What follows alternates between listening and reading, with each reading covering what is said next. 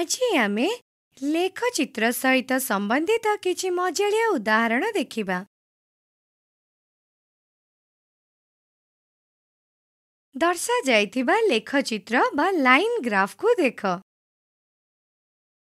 ଏହି ଆଲେଖ୍ୟରେ କେଉଁ ସୂଚନା ପ୍ରଦର୍ଶିତ ହୋଇଛି? ଦର୍ଶାଯାଇଥିବା ଲେଖଚିତ୍ରରେ ଭୂ ସମାନ୍ତର ଅକ୍ଷ ବା ହରିଜେଣ୍ଟାଲ ଆକ୍ସିସରେ ମାସ ଦର୍ଶାଯାଇଛି। ତଥା ଭୂଲମ୍ବ ଅକ୍ଷ ବା ଭର୍ଟିକାଲ ଆକ୍ସିସରେ ବିକ୍ରି ହୋଇଥିବା ମୋଟର ସାଇକେଲର ସଂଖ୍ୟା ଦର୍ଶାଯାଇଛି।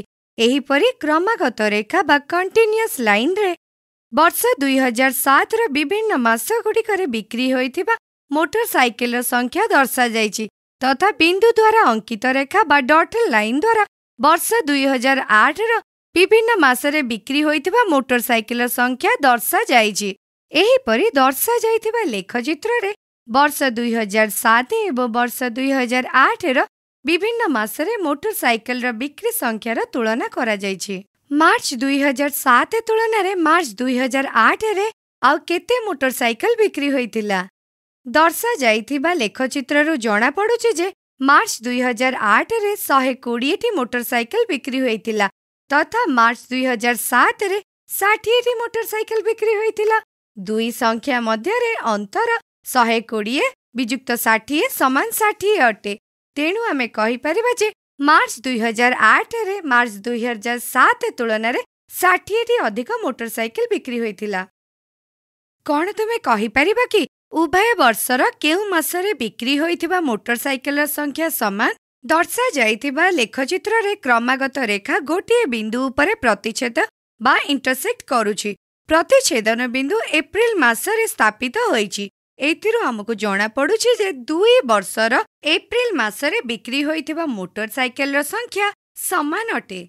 ଚାଲ ଆଗାମୀ ଉଦାହରଣ ଦେଖିବା।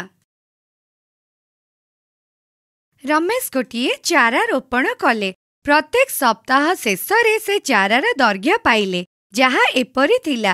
ଏକ ଏକକ ସମାନ ଦୁଇ ସେଣ୍ଟିମିଟର ଏହି ସ୍କେଲ ନେଇ ଦିଆଯାଇଥିବା ସୂଚନାକୁ ଲେଖଚିତ୍ର ଆକାରରେ ନିରୂପିତ କରନ୍ତୁ।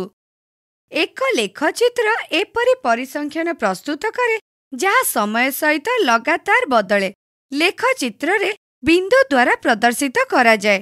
ଏବେ ଚାଲ ଦର୍ଶାଯାଇଥିବା ସୂଚନାର ଆଧାରରେ ଲେଖଚିତ୍ର ଅଙ୍କନ କରିବା। କାଗଜ ଉପରେ ଦୁଇଟି ପରସ୍ପର ଲମ୍ବ ରେଖା ଟାଣ।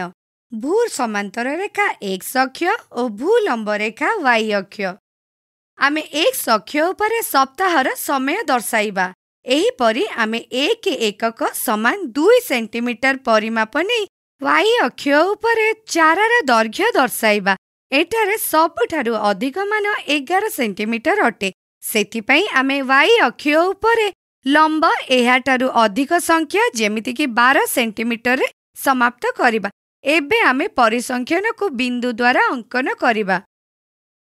ପ୍ରାରମ୍ଭରେ ଅର୍ଥାତ୍ ଶୂନର ସ୍ଥିତିରେ ଚାରାର ଦୈର୍ଘ୍ୟ ଶୂନ ଅଟେ। ସେଥିପାଇଁ ଆମେ ଶୂନର ସ୍ଥାନରେ ବିନ୍ଦୁ ଅଙ୍କନ କରିବା। ଏହିପରି ସପ୍ତାହ ଏକରେ ଚାରାର ଦୈର୍ଘ୍ୟ ଦୁଇ ସେଣ୍ଟିମିଟର ଅଟେ। ଏହି ଲମ୍ବ ନିରୂପିତ କରିବା ପାଇଁ ଆମେ ସପ୍ତାହ ଏକର ଭୂ ଲମ୍ବ ରେଖା ଏବଂ ଦୁଇ ସେଣ୍ଟିମିଟରର ଭୂ ସମାନ୍ତର ରେଖାର ପ୍ରତିଚ୍ଛେଦନ ରେଖା ଅଙ୍କନ କରିବା। ଏହିପରି ସପ୍ତାହ ଦୁଇରେ ଚାରାର ଦୈର୍ଘ୍ୟ ସାତ ସେଣ୍ଟିମିଟର ଅଟେ।